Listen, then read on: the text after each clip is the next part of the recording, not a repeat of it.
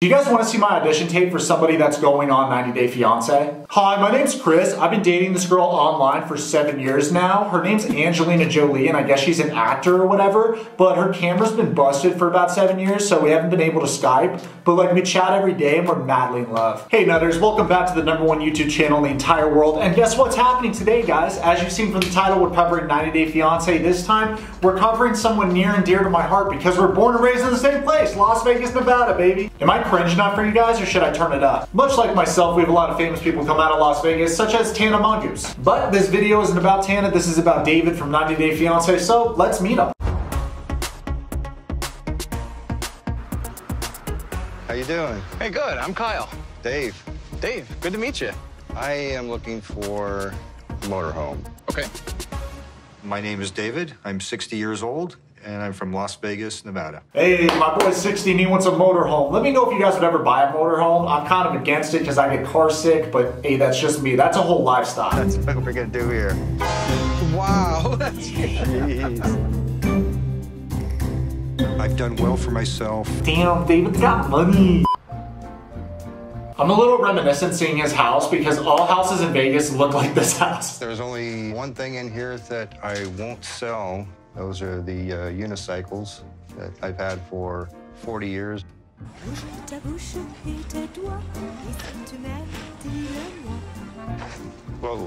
Okay, so a couple thoughts on David. He seems like an overall pretty nice guy. Also, he looks amazing for being 60 years old. Like, what the ass? I know his haircut's a little like Timmy Turner's dad, but it works for him. You know, he just seems like a sweet old guy, and I feel like that haircut doesn't look good, but it doesn't look bad. You know, I might want to change it up. I want to take a little bit off the top. I don't know. I don't know if it's a toupee. I don't know. He's an old guy. He looks great for his age. That's all I'm going to say about that. The unicycling, let's talk about the unicycling.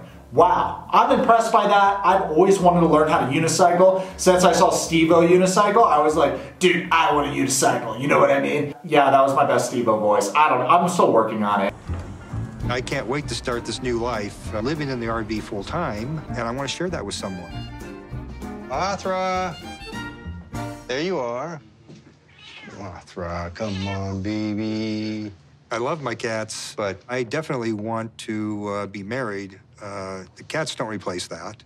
And I think I've met that girl that I want to marry, and uh, I'm ready for it to happen. So David is a sweet old cat lady and he wants to find somebody to go on an RV with him and live with him in the RV and kind of like van life. I don't know if he's pursuing a van life YouTube career, but those do really well, David. Okay, I see she's online. Good. I'm inviting her to chat. Hi, honey. I think I talk to Lana probably four hours a day. Sometimes it feels great just to get out in the open air and have my chats outside. Pause. Here's my thing with this. With David having this pen pal Lana for this long time and saying she's my girlfriend and all this stuff, he's just chatting with her. He's not seeing her face. He's not video calling her. It could not be her, dude. I feel bad for David, you guys, because people need to be social. Humans need to be social and interact with other humans.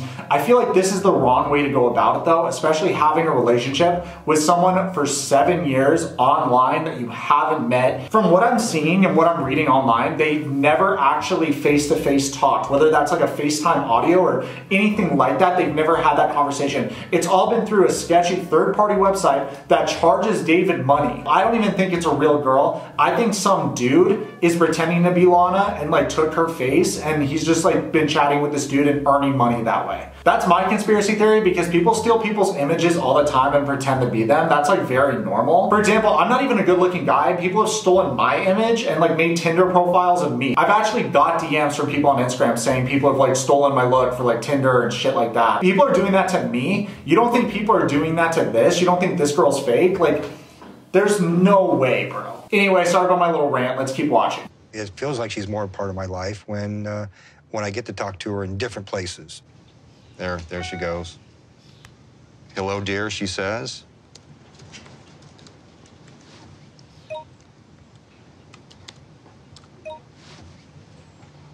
Did anyone else read it in that voice? Yes, ready. Like every time I see that, I know someone's from Eastern Europe. I always read an Eastern European accent. Yes, my love. I'm very excited for our meeting. Yeah, I was chatting with Lana last night, and I was asking her the details about the train ticket to meet with me in Odessa. but she can't remember where she saved the tickets.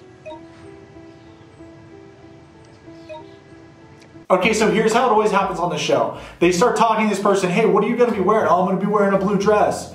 Okay, sick. What about the train details? Yeah, I don't really know anything about the details.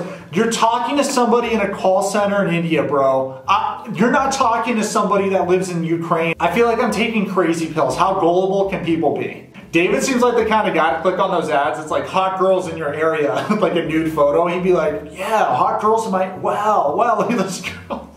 And I feel extra bad for David because he's from my hometown, dude. Like, can't you go to the strip clubs like a normal person? I'm just kidding. No, but seriously, doesn't he have like any younger nieces or nephews or somebody that can like teach him how to work the computer and teach him about scams? Like, I feel bad that he's like a loner because this whole computer relationship thing is super boomer, my dude. And honestly, it's kind of hard to feel bad for David because when you can use Skype, Facebook, FaceTime, anything to see somebody and have a relationship, you deserve to be catfished if you're this gullible.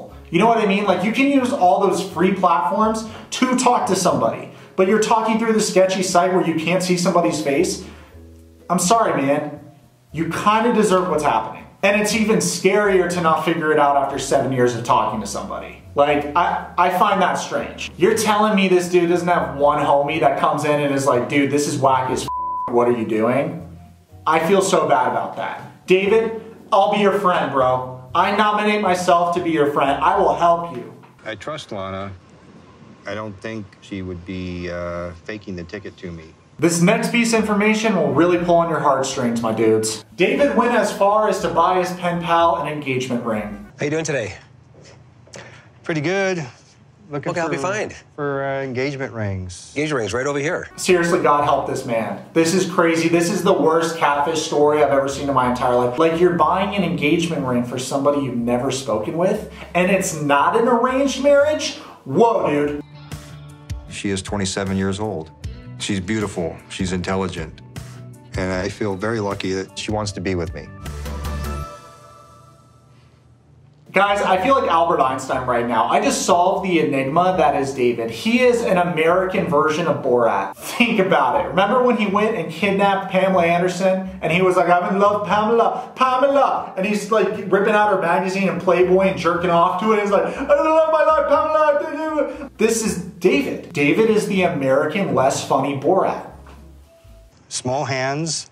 Small hands. You happen to Small have, do you happen hands. to know her finger size? No, I That's actually. always tricky. Oh, you're telling me, Mr. Jeweler, the finger size is really tricky. I actually got the wrong size for B because B told me her shoe size for her ring size. So I got an eight and a half ring size, and the jeweler was like, "Seems a little big." Yeah, showed a picture of B, and she's, he's like, "I don't think that's it." And I was like, "No, no, this definitely is." She told me that.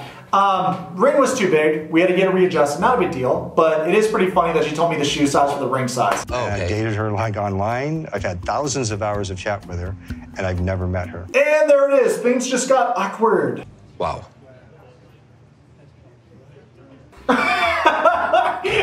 Dude, the jeweler is so shook. He's like, this guy's out of his mind. I can't wait to tell all my friends about this lame shit.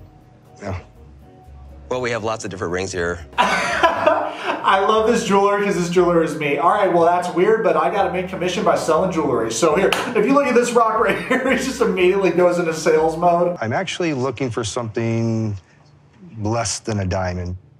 Maybe cubic zirconia. Okay, so I was just thinking it might be a smart move for David to not spend a lot of money on this ring. Maybe it's a good thing that he's not getting a real diamond. And then I thought more about it and I was like, wait, he spent hundreds of thousands of dollars chatting with a stranger on the internet for seven years. Doesn't make much sense. Cheap out on the ring, but spend hundreds of thousands of dollars talking to someone when you could have talked to them on Facebook or another free platform. I've been engaged two times before with American women, Each time the women weren't ready to commit to a marriage. and that was a real disappointment. I have expected to be married, uh, definitely for sure by the by the age I am now. So I'm really hoping that this time with Lana it works out. Okay, pump the brakes there, David. You're saying it like it's the American women's fault, so that's why you're jumping to a woman from Ukraine and jumping to an engagement with? Listen, buddy, you're engaging somebody you've never met before. I'm sure you did go too quick. I don't think this is an American woman versus European woman thing. I think this is a you are too quick on the draw, my guy. So you're telling me that you're gonna propose to somebody that you've never met before, and you think she's gonna be totally into it. Um, I don't know how to tell you this, but in Eastern Europe, they're not doing that bad though. You know what I mean? Like, they're not gonna be like, oh my god, my knight in shining armor just proposed to me. They're very independent women here, dude. Definitely showing up and proposing is a weird thing to do here. I did find her address from uh, the cruise registration last year. Guys, it's finally happening. David got an address and right now he's going to confront Lana or the fake Lana. We don't know if Lana's real or fake. We all think she's fake, but we don't know and now we're gonna find out. He's going there right now to find her. And thinking about driving out there. Seeing if I can confront her. Are you sure you want to do that? Yeah, I, th- I think it's the last thing I can try. Dave, I wish you the best of luck. I really do.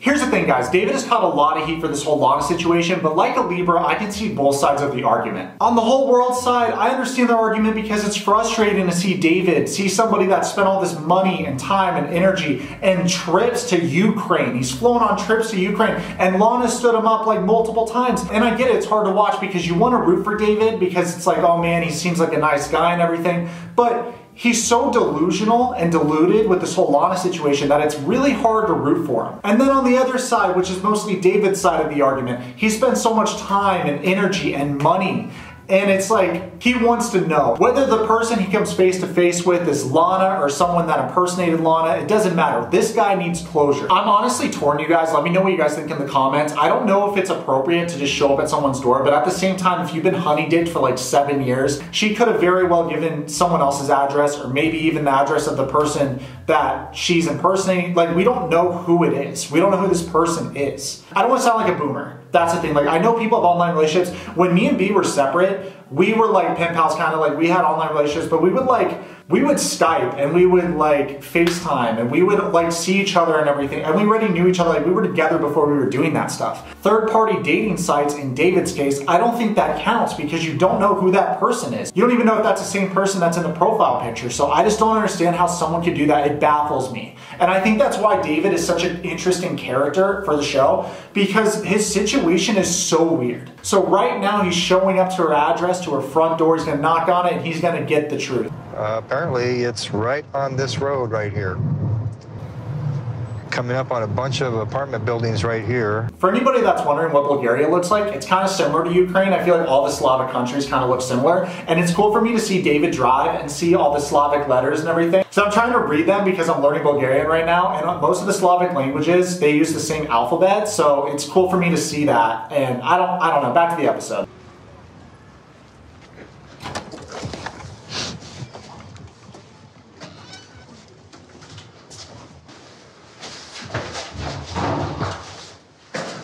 When your sim shows up at your door. no, but seriously, guys, I'm so nervous right now. I hope she answers. This is scary